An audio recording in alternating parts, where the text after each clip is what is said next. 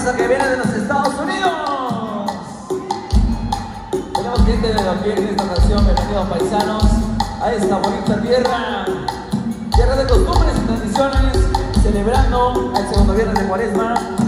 Bienvenido, mi compa Zuma. Claro que sí, compadre. Vamos con un